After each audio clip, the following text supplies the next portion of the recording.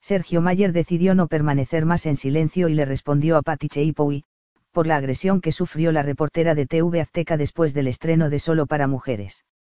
El altercado ocurrió el pasado 17 de octubre después del estreno del show en la Ciudad de México, en el cual una reportera del programa de espectáculos Ventaneando, intentaba entrevistar a Sergio Mayer Mori, intento que se vio frustrado por personal del staff que impidió su avance, tras lo cual se dio un enfrentamiento verbal muy acalorado entre los dos.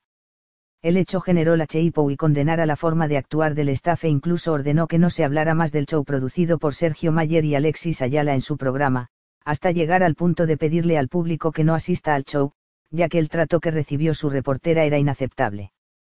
Si ese es el tipo de patán que está en solo para mujeres, les recomiendo no vayan, porque la agresión que recibió nuestra reportera fue desagradable y no debemos permitir que nadie trate así a nadie, y mucho menos a una mujer, dijo Cheipo y muy molesta.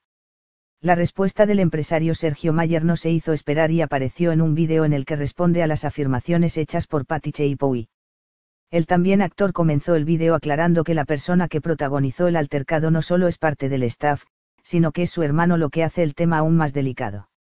Mi hermano no reaccionó así como gente de seguridad, o como gorila, como ellos lo llamaron, sino como un tío que vio a su sobrino que estaba siendo acosado y perseguido por la prensa y que no quería responder, intentó apoyarlo, y de verdad lamento mucho su reacción y él asumirá las consecuencias de los hechos, pero al mismo tiempo quiero que sepan que le agradezco el apoyo que le dio a mi hijo en ese momento como tío, no como gente de seguridad.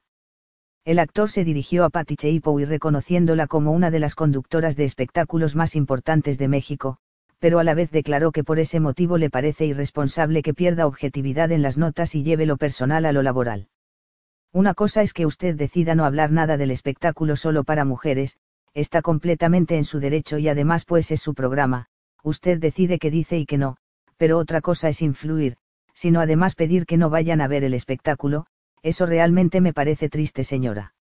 El ex Garibaldi afirmó que la única forma de levantar México es generando empleo y eso precisamente es lo que hace la empresa solo para mujeres, de donde dependen más de 70 familias directas entre actores, producción, vestuario, audio, iluminación, circuito cerrado, más todos los empleos indirectos que a la vez genera y que todos ellos no tienen nada que ver con lo acontecido con su hermano. Para finalizar el actor agregó. Esto se lo digo para que sepa por qué lamento mucho el comentario que usted hizo, como les dije estamos aquí dando la cara, reprocho total y absolutamente las agresiones en especialmente a las mujeres y aquí estaremos dando la cara.